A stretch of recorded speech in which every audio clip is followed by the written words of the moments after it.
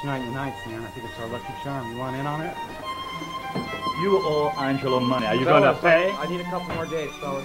No, you're gonna pay I now. I don't, have it right now, fellas. You're gonna pay right now. I don't have it. You son of a Couple bitch, more you gotta pay. pay. Couple more days.